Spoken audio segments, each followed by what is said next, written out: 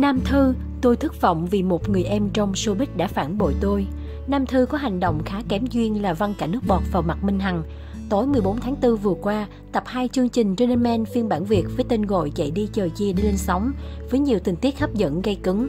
Trong tập này, ngoài 7 nhân vật chính là Trấn Thành, Trương Thế Vinh, Liên Bình Phát, BB Trần, Jun, Ngô Kiến Huy, Ninh Dương Lê Ngọc, còn có sự tham gia của hai khách mời là Minh Hằng và Nam Thư. Nam Thư văng cả nước bọt vào mặt Minh Hằng. Theo luật chơi của chương trình tuần này, 6 người đàn ông của chương trình sẽ được chia làm 3 đội. Mỗi đội sẽ lựa chọn cho mình một vị công chúa là Minh Hằng, Nam Thư và Ninh Dương Lan Ngọc để bảo vệ họ thực hiện các nhiệm vụ được đặt ra. Minh Hằng là khách mời lần đầu tiên xuất hiện, lại xinh đẹp nhẹ nhàng nên được ba đội chơi tranh giành, nâng như nâng trứng. Trong khi đó Ninh Dương Lan Ngọc vì quá quen mặt nên bị hắt hủi, còn Nam Thư bị chê bai vì quá già. Thậm chí Ninh Dương Lan Ngọc từ lúc ngồi trong kiệu đã bị Trấn Thành chê này chê để vì chân thối. Sau một hồi chọn lựa Minh Hằng về đội Trấn Thành Trương Thế Vinh, Ninh Dương Lan Ngọc về đội BB Trần Lương Bỉnh Phát, còn Nam Thư về đội Truyên Ngô Kiến Huy, đội chị chê là yếu ớt nhất. Trong lúc chọn nhiệm vụ để thi, Nam Thư đã sơ ý không kiểm soát được mình và có một hành động khá kém duyên là văng nước bọt vào mặt Minh Hằng. Minh Hằng sau khi bị Nam Thư văng nước bọt vào mặt đã giật mình lấy tay lau mặt rồi thốt lên. Trời ơi nước miếng văng tùm lum kinh quá, Nam Thư chơi dơ quá. Mọi người thì lại xem đó là một trong những chiến thuật hạ bệ đối phương của Nam Thư. Nam Thư bật khóc, tôi thất vọng vì một người em trong showbiz đã phản bội tôi. Trong tập này, Minh Hằng chiếm được nhiều cảm tình của khán giả và được khen ngợi khá nhiều. Vì sự nhẹ nhàng, lễ phép và thông minh của mình, cô liên tục đưa ra những ý kiến để vượt qua thử thách. Chẳng hạn trong thử thách, dùng chân ném cốc nhựa vào thùng. Minh Hằng là người đầu tiên nghĩ ra việc phải cho đá đầy cốc để ném cho dễ, giúp các đội khác làm theo. Hay trong thử thách đẩy chậu trên đường băng xà phòng, Minh Hằng biết cách dùng cơ thể để nếu chiếc chậu trơn trượt lại, không để bị rơi xuống nước, cô cũng không ngại lan xả chơi hết mình. Tuy nhiên đến phút cuối cùng vì hơi hiền nên Minh Hằng đã thua nên Dương Lan Ngọc trong một cuộc vật lộn. Riêng Nam Thư vì chủ quan mà đã bị BB Trần chơi xấu. Cụ thể đội của Nam Thư và đội của Ninh Dương Lan Ngọc âm mưu kết hợp cùng với nhau để hạ bệ đội Minh Hằng ở phần thi cuối cùng. Nên Dương Lan Ngọc còn nói chúng tôi không bao giờ chơi dơ đâu. Vì tin tưởng đội Ninh Dương Lan Ngọc nên Nam Thư đã chủ động không đề phòng. Cô nghĩ rằng đội Ninh Dương Lan Ngọc sẽ cùng mình loại đội Minh Hằng nhưng không ngờ trong lúc đang chơi, BB Trần của đội Ninh Dương Lan Ngọc đã lén giật bản tên của Nam Thư, khiến cô bị loại thẳng. Nam Thư đã bật khóc vì sốc khi biết được điều này, từ đó trở đi cô rơi vào trạng thái buồn phiền tuyệt vọng, không hào hứng như trước, mà chỉ ngồi yên một chỗ. Nam Thư còn nhắc Trấn Thành, chị chỉ tham gia game show này có một lần thôi nên chị muốn dặn cho các em ở lại là từ lần sau đừng tin ai nữa.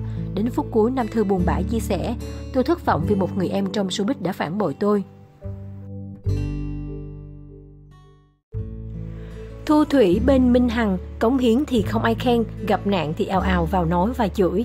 Trước những bàn luận trái chiều xoay quanh cuốn nhào lộn loạn choạng của Minh Hằng trên sàn diễn của tuần lễ thời trang quốc tế Việt Nam 2019, ca sĩ Thu Thủy đã lên tiếng bên vực. Minh Hằng đảm nhiệm vai trò vedette cho một show diễn thời trang trong khuôn khổ tuần lễ thời trang quốc tế Việt Nam. Tại đây, bé heo diện bộ trang phục thể thao, tết tóc khỏe khoắn. Thế nhưng trong lúc cắt quốc.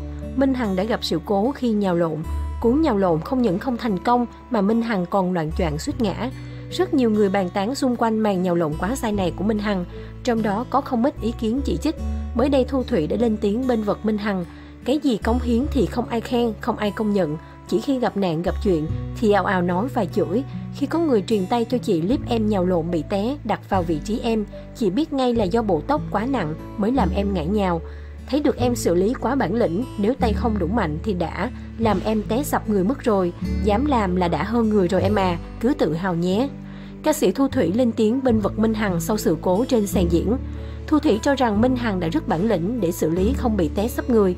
Trước đó trong buổi tổng duyệt, Minh Hằng đã thực hiện khá thành công màn nhào lộn và lý do cô suýt ngã là bởi sàn quá trơn. Nhờ kinh nghiệm và bản lĩnh sân khấu mà Minh Hằng không bị ngã. Cô cũng chia sẻ hài hước về việc này Tôi tưởng mình không còn răng ăn cháo rồi.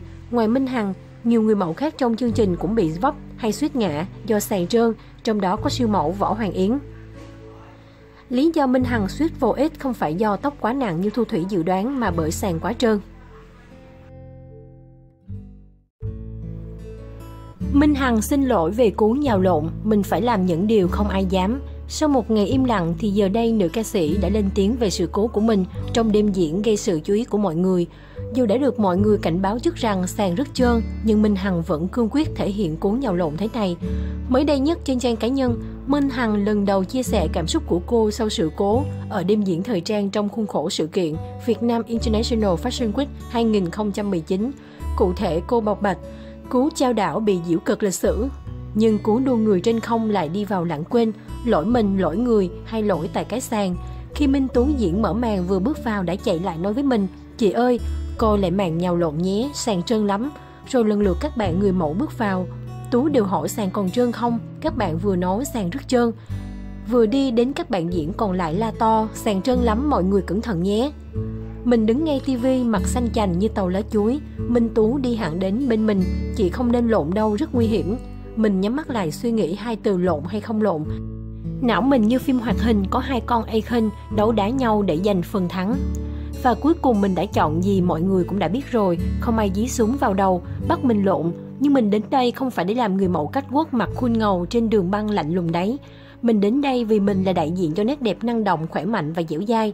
Mình đại diện cho từng lớp. Nhìn mấy đôi chân dài là phát thèm, vì thèm quá mà lại không có nên bắt buộc phải lao đầu vào tập luyện để siết chỗ này và nở chỗ kia. Ít ra không dài thì chỉ số hình thể cũng ổn và quan trọng nhất là khỏe. Khỏe để làm những điều không thể trở thành có thể. Mình phải làm những điều không ai dám làm để rồi ngước mặt một cách đầy tự tin về phía mọi người. Mình đã làm được rồi, mọi người cũng sẽ làm được thôi. Quan trọng là dám làm, dám chịu đau đớn. Đủ sự kiên định và niềm tin, lúc đó chợt nhớ đến cháu mình. Lần lượt đầu tiên của bà thật vất vả gian nan, nghe tiếng bà la thất thanh mà đầu thì vẫn cắm xuống nệm. Nhưng mọi thứ tốt dần lên khi có sự luyện tập và quan trọng là bà sẽ chẳng bao giờ bỏ cuộc để được học hỏi những điều mới. Quay lại vấn đề chính lỗi tại ai, đích thị là không phải lỗi ở cái sàn vì đã có rất nhiều người mẫu đi trước đã té, mình đã được mọi người cảnh báo, nhưng trời à, mình đã quá tự tin và lì lợm. Mình đã nghĩ suốt những năm tháng, ta mình rèn luyện bản thân và suốt một tuần lễ qua mình đã trồng chuối còn nhiều hơn ăn cơm. Đến ngủ mình còn toàn mơ và phân tích các chi tiết bộ phận trên cơ thể làm sao để kiểm soát thật tốt. Mình đã quá khao khát có được màn biểu diễn ấn tượng mà quên đi những rủi ro sẽ gặp phải cho mình và sẽ ảnh hưởng đến chương trình hay đặc biệt là đối tác của mình. Mình xin chân thành xin lỗi đã không làm tốt nhiệm vụ được giao để truyền đi những thông điệp tích cực mà thể thao mang lại. Các bạn có quyền cười chê vào tai nạn nghề nghiệp của mình vì rõ ràng mình đã không làm trọn vẹn. Đọc comment thấy mọi người nói cười muốn tụt quần, riêng mình thì xấu hổ muốn đội quần, nhưng sau tất cả mình có hối hận với những gì mình đã làm không? Chắc chắn là không. Nếu không có một Minh Hằng lì đòn chịu đấm ăn xôi, bỏ qua hết tất cả những hiểm nguy của bản thân, chỉ chăm chăm vào kết quả hoàn mỹ mà bản thân đặt ra thì sẽ không có một Minh Hằng của ngày hôm nay. Vì mình nhận thức được rằng mình không sắc nước hương trời cũng chẳng thông minh bằng ai. Nên cái duy nhất mình luôn cố gắng duy trì và nắm giữ là nghị lực và niềm tin. Chắc vì tự kỷ ám thị câu thường chú mình sẽ làm được hoài. Nên cứ tưởng mình là siêu nhân thiệt. Xin lỗi tất cả mọi người, những ai yêu quý mình luôn trông đợi vào mình đã thất vọng vào lần này, nhưng hãy luôn tin tưởng rằng mình sẽ không bao giờ bỏ cuộc nhé. Cô gái sau một ngày im lặng trốn thế giới, đây lại mỉm cười đương đầu với thế giới. Nữ ca sĩ vô cùng tự tin khi chào sân, chẳng kém gì các người mẫu chuyên nghiệp. Cả màn đu dây cực xuất sắc, nhưng spotlight và nhiều lời chê bai lại rơi vào màn nhào lộn không nên được trọn vẹn này. Sau tất cả rất may mắn khi Minh Hằng đã không gặp phải một chấn thương đáng tiếc nào từ cú trượt chân kia. Hy vọng mọi người nhìn nhận trọn vẹn phần biểu diễn để thấy một người ca sĩ nhưng lại có thể đu dây trồng chuối chỉ để mang lại sự mới lạ cho người xem. Hãy ghi nhận sự cố gắng thay vì dùng những lời chê bai, cười vào sự cố gắng của người khác.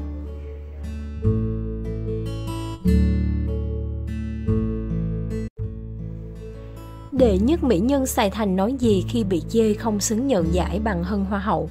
Nhiều khán giả cho rằng không phải Kim Tuyến mà Thúy Ngân mới là người xứng đáng nhận được giải thưởng nữ diễn viên truyền hình xuất sắc của Cánh Diều 2018.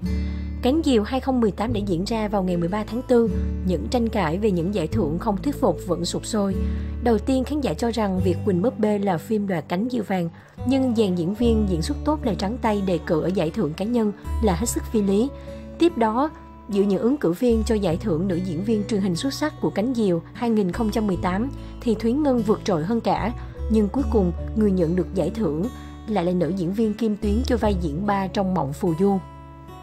Trước ý kiến cho rằng Kim Tuyến được trao giải không thuyết phục bằng Thúy Ngân, nữ diễn viên Mộng Phù Hoa đã thẳng thắn chia sẻ quan điểm với báo chí. Mọi người nhận xét như vậy vì họ chưa xem phim của tôi. Tôi tự tin với diễn xuất của mình. Cô khẳng định nếu tôi quen biết được ưu ái thì có lẽ năm nào cũng đoạt giải. Hội đồng nghệ thuật là các cô chú uy tín, đầy kinh nghiệm trong nghề, họ sẽ không vì điều gì mà làm ảnh hưởng đến danh tiếng.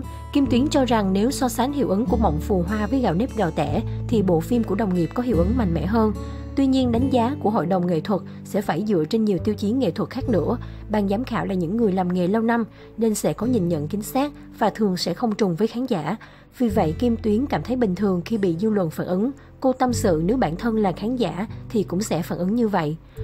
Đệ nhất Mỹ Nhân Sài Thành chia sẻ thêm, Lần này niềm vui của tôi nhân đôi khi quay phim Nguyễn Khắc Huy cũng đoạt giải. Rõ ràng bộ phim được đánh giá toàn diện từ hội đồng nghệ thuật. Đây là lần thứ ba Kim Tuyến nhận giải thưởng nữ diễn viên truyền hình xuất sắc ở Cánh Diều.